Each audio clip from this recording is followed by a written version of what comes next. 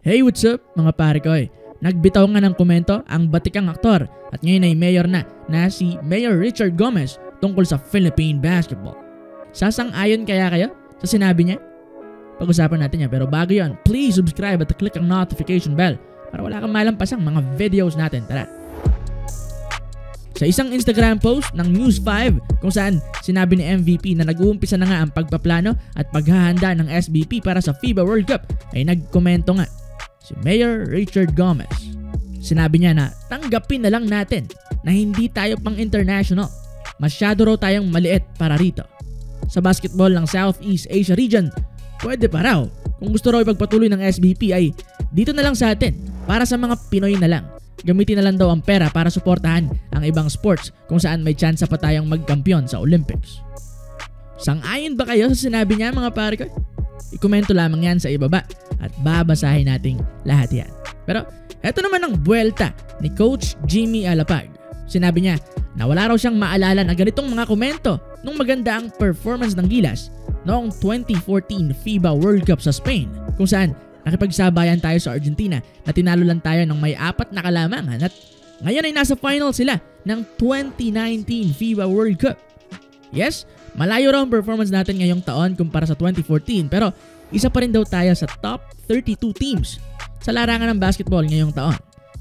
Kailangan pa rin daw natin mag-improve syempre pero ang sabihan na masyado tayong maliliit para sa basketball ay insulto raw para kay Coach Jimmy at sa iba pang mga players na naglaro para sa Pilipinas.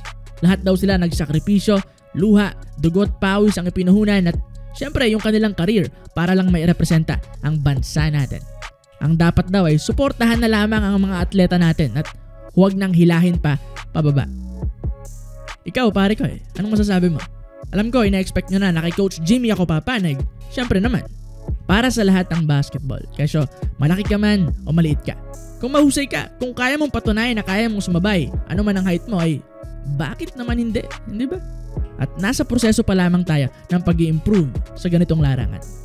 Kitang-kita naman ang improvements kung nasubaybayan mo talaga. Ilang taon ba tayong hindi nag-qualify sa World Cup? Noong 2014 lang naman tayo bumalik ulit eh. Magtatatlong sunod pa. 2014, ngayong 2019 at sa paparating na 2023 kung saan tayo ang magiging host. Diyan pa lamang, malinaw na may progreso ang Philippine basketball. Ang gusto kasi ng iba, panalo lang lagi. Champion. Ayaw nila nung parte ng proseso. Kung ganun lang din, masasaktan pati mga kapwa natin Asian teams ng FIBA World Cup kung saan nalaglag din sila at hindi nakapasok ng second round. Yung Jordan, China, Korea, pati Japan tinambakan lang din ng 2019 World Cup. May mga NBA players pa yung Japan ha. Iran nga lamang ata nakapalag-palag talaga eh. ba? Diba? Tama nga naman si Jimmy Alapag. Imbes na tirahin ang basketball program ng bansa, eh bakit hindi na lang suportahan? i-encourage na mas pag-igihan pa. Diba?